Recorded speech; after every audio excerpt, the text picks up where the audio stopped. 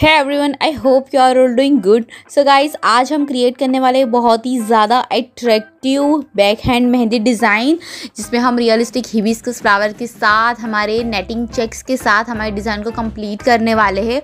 Video को बिल्कुल भी स्किप मत करेगा पूरा देखिएगा। में बहुत से ब्यूटीफुल एलिमेंट्स है और डिज़ाइन बहुत ही ज़्यादा अट्रैक्टिव बनने वाली है। सो so, जैसे कि आप देख सकते हो कि यहाँ पर मैंने इस तरीके से टू डिफरेंट एंगल में मैंने हिबिस्कस को क्रिएट कर दिया है। अब मैं यहाँ पर इस तरीके से एक सर्कल को क्रिएट कर रही हूँ, जैसे कि आप देख सकते हो। अब सर्कल के अंदर मैं एक और थीन लाइन को यहाँ पर क्रिएट कर दूँगी। क्रिएट हो जाने के बाद दोनों साइड पर हम हम्स क्रिएट करेंगे।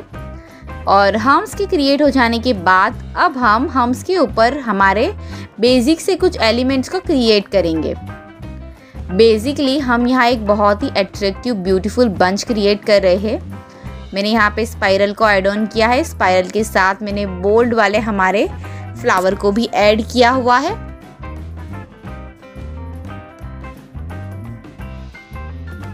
फ्लावर के क्रिएट हो जाने के बाद हमने इस तरीके से ऊपर की तरफ़ और हमारे लीव्स को क्रिएट किया है और अदर साइड पर भी हम इसी तरीके से क्रिएट करेंगे।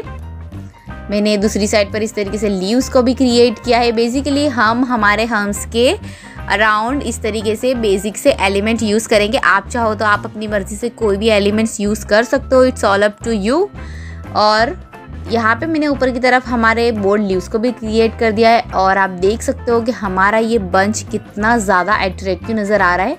मेन पार्ट आता है इस फ्लावर में शेडिंग के लिए। तो शेडिंग डिसाइड करती है कि आपका फ्लावर रियलिस्टिक लगता है या नहीं।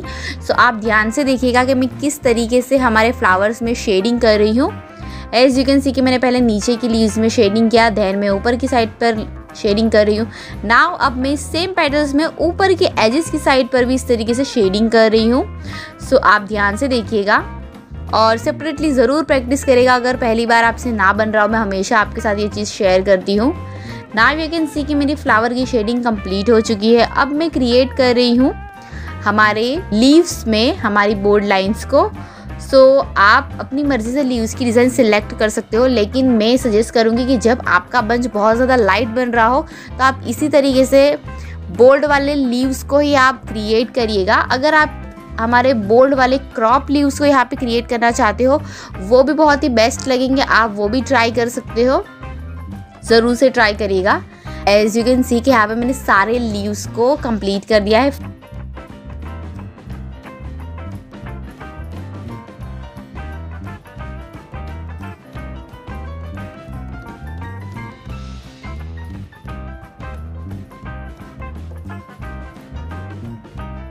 अब हम यहाँ पे हमारे फ्लावर को कर देंगे बोल्ड और फ्लावर के कंप्लीट हो जाने के बाद अब हम सर्कल में चेक्स को क्रिएट करेंगे।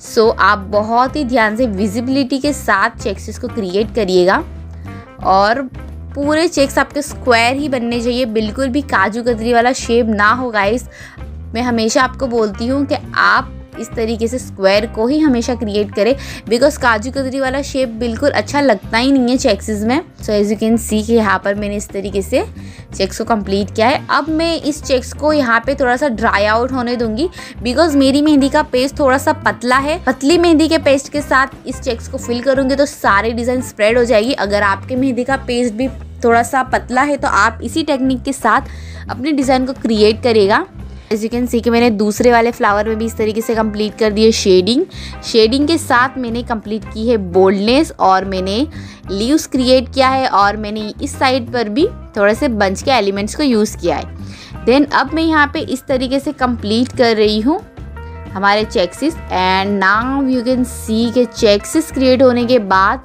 हमारा जो बंच है वो और भी ज़्यादा अट्रैक्टिव नज़र आ रहा है. अब हम ऊपर की साइड पर, हमारी पाम की साइड पर एक और हमारा यहाँ पे बंच को क्रिएट करेंगे। ऐसा अब आप इस वीडियो को बिल्कुल भी स्किप मत करेगा बिकॉज़ हमारे डिज़ाइन में बहुत ही ज़्यादा अट्रैक्टिव बनाने वाली हूँ यहाँ पे और आप देखोगे कि मैं किस वेरिएशन में रिवर्स स्टाइल में ये शेयर करने वाली हूँ क्रिएट करने वाली हूँ हमारी डिज़ाइन सो so, जैसे कि आप देख सकते हो कि इस तरीके से मैंने लीव्स को भी फ्लावर के साथ क्रिएट किया है एक छोटा सा सर्कल क्रिएट कर दिया है। एंड सर्कल के बाद मैं इस तरीके से हमारे लीव्स को बोल्ड करूँगी सर्कल में फिल करूँगी और आउटर लाइन पर मैं हम्स क्रिएट कर दूँगी। अगेन मैं यहाँ पे एक बेसिकली बंच क्रिएट कर रही हूँ। जब आप बंच क्रिएट कर रहे हो तो आप अपनी मर्ज़ी से कोई भी एलिमेंट्स को यूज़ कर ले। एलिमेंट में नहीं यूज़ करती हूँ लेकिन आपको अगर कोई ऐसा एलिमेंट है जो पसंद हो तो आप बिल्कुल से प्रैक्टिस करने के तरीके से इस डिज़ाइन में आप ज़रूर ज़रूर एड ऑन करें ताकि आपकी प्रैक्टिस बेटर हो। सो so, मैंने यहाँ पे हम्स को क्रिएट किया है। एंड मैंने इस तरीके से यहाँ पे लीव्स को क्रिएट किया है। यू कैन सी कि मैंने इस वेरिएशन में तीन लीव्स को ब्यूटीफुली क्रिएट किया है। अब मैं लीव्स की जो एजेस है ना, मैं उस एजेस में इस तरीके से कर दूँगी लाइंस ताकि मैं अंदर की साइड पर भी चेक्स को क्रिएट कर सकूँ। और आप, जैसे कि आप देख सकते हो कि मैंने इस तरीके से चेक्स को भी क्रिएट कर दिया है। अगेन मैं चेक्स को थोड़े ड्राई आउट होने दूँगी। एंड ऊपर की तरफ़ की मैं हमारी फ्लावर की डिज़ाइन को करूँगी कंप्लीट और देख सकते हो कि हमारी डिज़ाइन कितनी ज़्यादा अट्रैक्टिव और बहुत ही एलिगेंट लग रही है। और ये बनने के बाद पूरी तरीके से रियलिस्टिक फ्लावर का लुक देगी।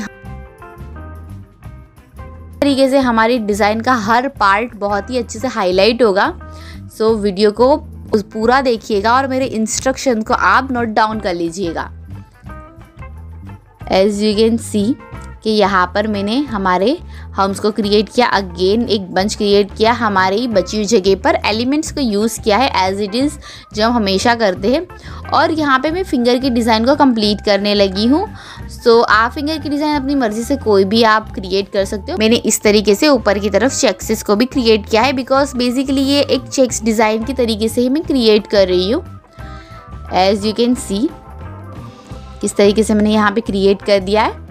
नाव अब हमारे चेक्सिस थोड़े से ड्राई आउट हो चुके हैं तो अब हम हमारे चेक्सिस में अगेन फिल करेंगे।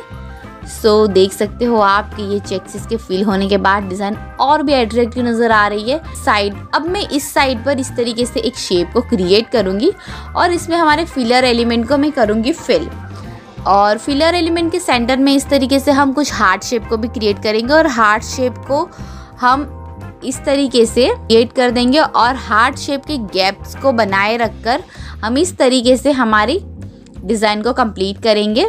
एज यू कैन सी के मैंने यहाँ पे इस साइड का पार्ट पूरी तरीके से कंप्लीट कर दिया है और मैंने थम की डिज़ाइन पे भी फिर और मैंने थम की डिज़ाइन पर भी फिलर एलिमेंट से यहाँ पे फिल कर दिया है। अब मैं मिडल फिंगर क्रिएट कर रही हूँ। और आप देख सकते हो कि हमारी पाम की डिज़ाइन बहुत ज़्यादा हेवी अट्रैक्टिव और ब्राइडल वाला लुक दे रही है। बहुत ज़्यादा थ्री लग रहे हैं हमारे फ्लावर और चेक्सिस हमारे डिज़ाइन में चार चाँद लगा रहे हैं। नाव यू कैन सी कि मिडल फिंगर भी हमने इस तरीके से कर दी है कंप्लीट और हमारी डिज़ाइन पूरी तरीके से अब रेडी हो चुकी है। अगर वीडियो पसंद आया हो तो लाइक शेयर सब्सक्राइब ज़रूर करिएगा। अपने फ्रेंड्स और फैमिली में भी शेयर करिएगा ताकि वो मुझसे कुछ नया सीख सके। और अगर आपको पसंद आ रहे हो तो कमेंट सेक्शन में ज़रूर ज़रूर कमेंट करेगा किस तरीके के डिज़ाइन आप और सीखना चाहते हैं। वो भी कमेंट करके ज़रूर बताएगा। आई एम श्योर मैं आपके लिए ज़रूर क्रिएट करूँगी। Thank you so much